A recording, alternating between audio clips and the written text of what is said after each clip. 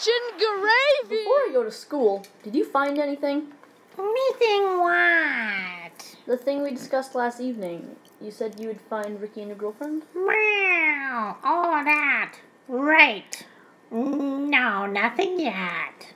I can only think of Monica, but she's a she's as big of a butt face as Joel. Hmm, I don't ship it. Keep working on it. I have to go now.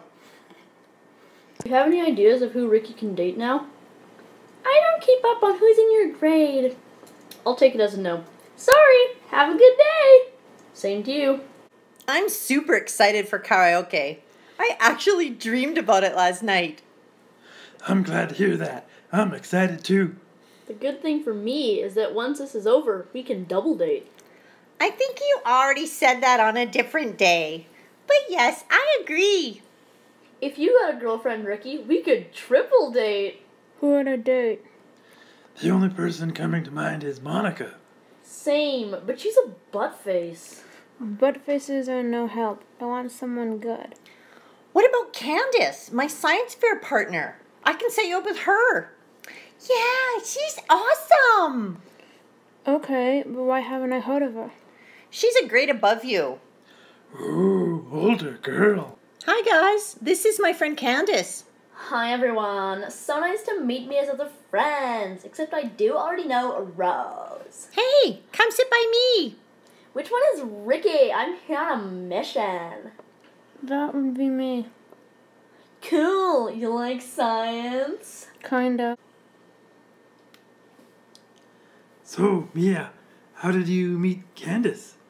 I'm so smart at science, my teacher decided to pair us together. I usually work alone, but Mia's like perfect to work with.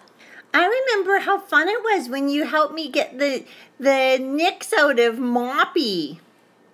Same. Sometimes I wonder why you don't let us be in a group of three, though. To my understanding, you can't be groups of three.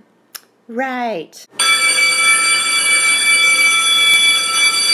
Bye, guys. Hopefully, I can see you later. That would be nice. Found a possible girlfriend for Ricky. Really? Who? Candace. Mia's science friend. Year older than us. Go get him, Ricky!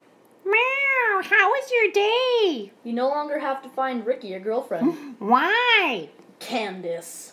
Awesome. At least, mm, I think.